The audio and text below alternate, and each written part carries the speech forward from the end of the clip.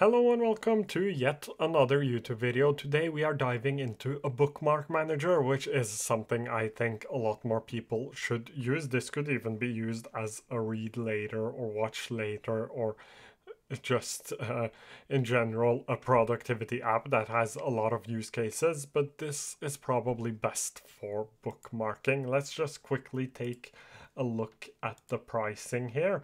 So we have a free price of unlimited bookmarks, unlimited collections, unlimited highlights, unlimited devices, 2600 uh, integrations that is with Zapier and tools like make.com.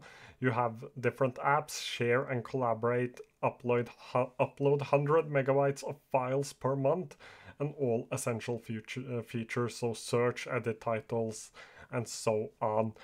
For uh, 25 uh, euros each year, including the VAT, you get everything in free plus plus a full text search that means uh, every page and every pdf you save you have daily backups and you have 10 gigabytes of files per month which is a lot that is actually a lot of files each month for a bookmark manager. Anyways let's take a look at the integrations here as well because there are a bunch of integrations. So we have Evernote, we have Google Sheets, we have Pocket, Readwise, Instapaper, which is apps I know a lot of people use, Dropbox, Google Drive, X, even Medium, which is something I use a lot and read a lot. And you can also, if you know what you're doing, you could build your own using the API. Now let's look at how this works. So this is quite a simple app, but it does quite well in organizing your different bookmarks, which is what I like about it. An app that is quite similar to this is probably mymind, but you do not get the collaboration there and sharing isn't so easy. But we have uh, an article right here, which I have saved. Let's say I wanted to read this later. I can just drag it into read later. I love inbox features. Why can't every productivity app have an inbox feature? You have a bunch of things you can do when you actually save something. So let's jump into Medium and let's find an article that I might want to read and save it into raindrop. So I could just go in and I could add a couple of notes. I could add some tags. I could choose where I wanted it to be saved. I will just place it into unsorted for now. Uh, and I could save this quite easily to my uh, to my uh, raindrop. I won't do that right now because I will probably never read this article. So let's just press remove.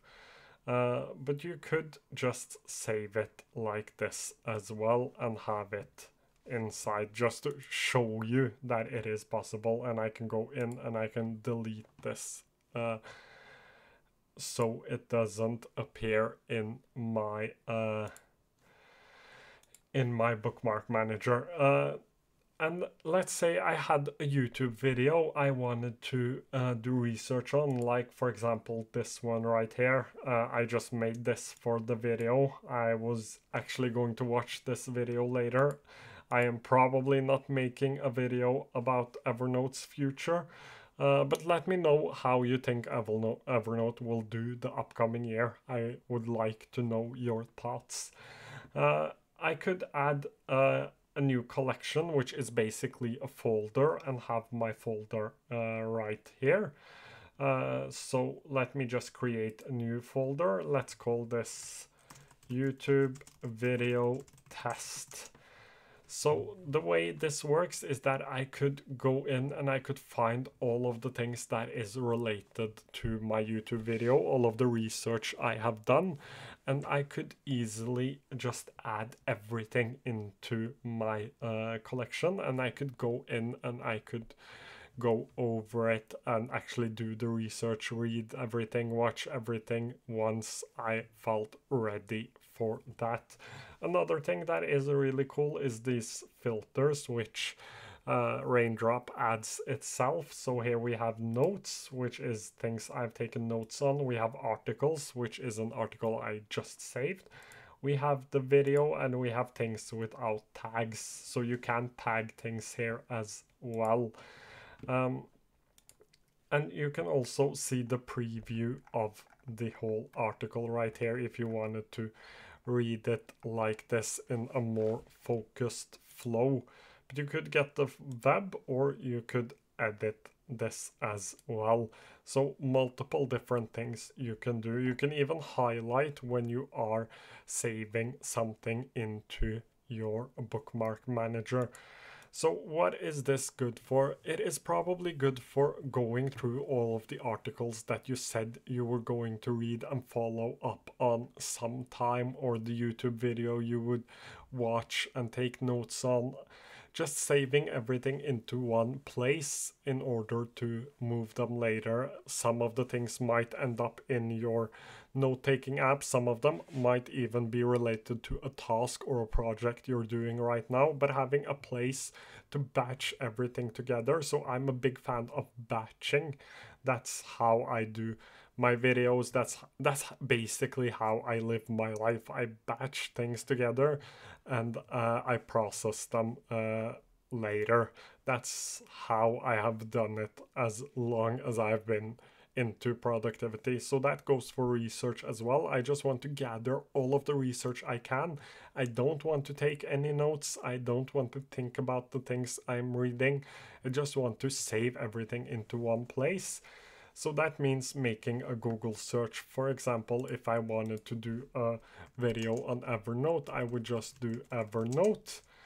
Uh, and I would go through all of these and uh, save them into my bookmark manager and uh, then be uh, able to process them later. I wouldn't read any of them. I wouldn't look too deeply into them. I would just put them into the bookmark manager. Uh, then when I am ready to take notes and I feel focused, I would probably then go through all of my notes. So this is quite similar to apps like Fabric and mymind, but I probably think this is the best uh, bookmark manager out there, especially the free plan. If you don't want to spend any money on your bookmark manager, which I do not think you should, because if we end up spending money on every productivity app out there and every aspect of our productivity, we will run out of money quite quickly.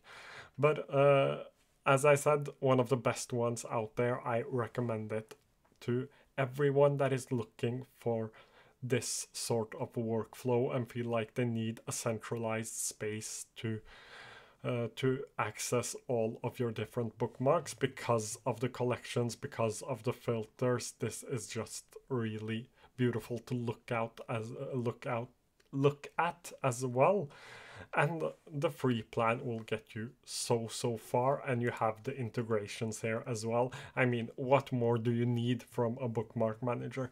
If you have any questions feel free to leave them down below and i will try to get to them as soon as i can. Thank you so so much for watching